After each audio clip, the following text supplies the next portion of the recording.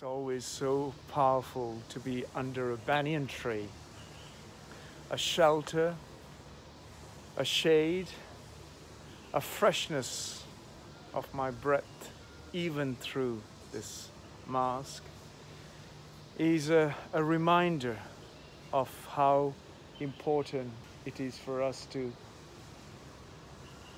preserve and protect and hold on to the forests of the planet. It's 34 degrees in that broad daylight. Sun is bursting down here on the African continent. Yet, under this tree, I feel the cool breeze that is touching me and keeping me refreshed and rejuvenated with every breath I inhale.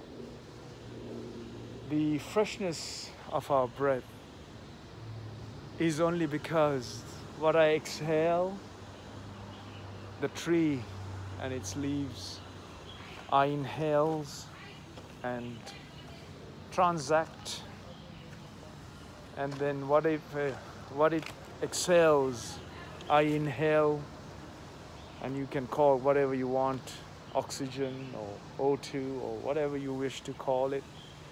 But what is important is that it provides me freshness of air.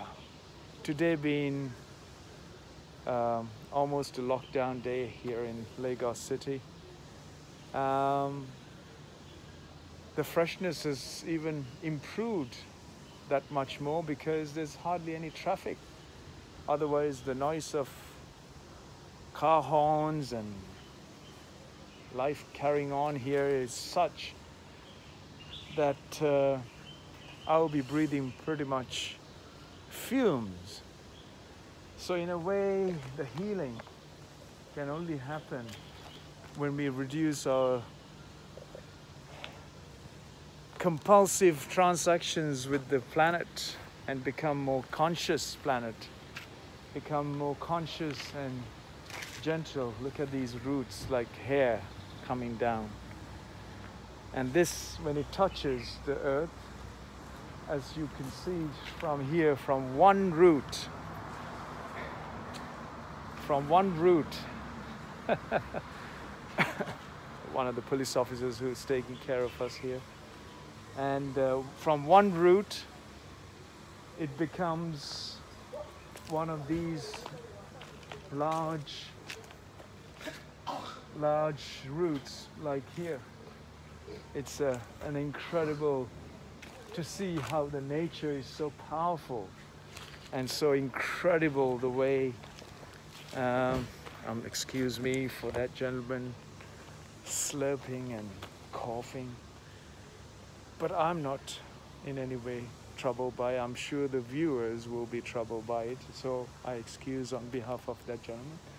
Anyway, so as I said, this, uh, yeah, so as soon as this touches the earth, it finds life and it starts growing as a tree, as a trunk, root, and in the midst of all of that, I can see people have thrown plastic bottles, and the nature of this tree is such.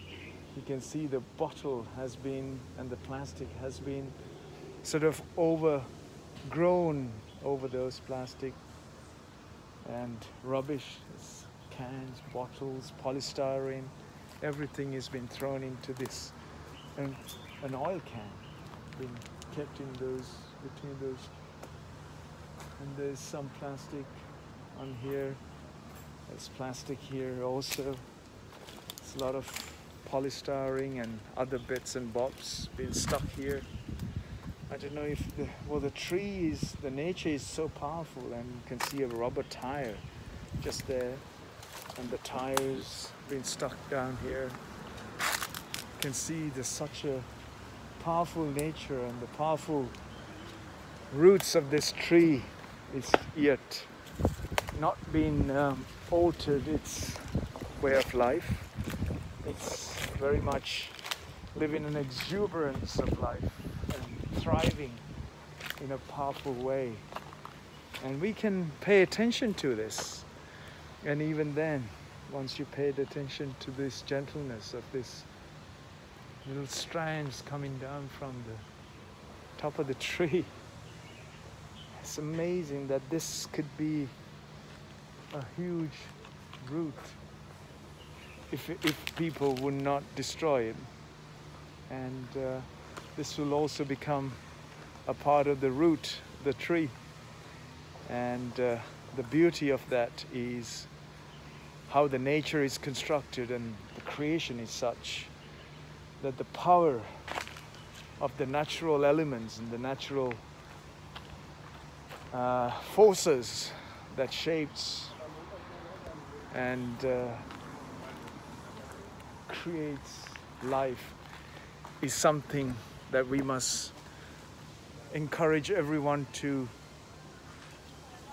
to be conscious of and remind ourselves to become a conscious planet is in our hands to make it happen and in our hands to for us to be conscious and gentle with everything we do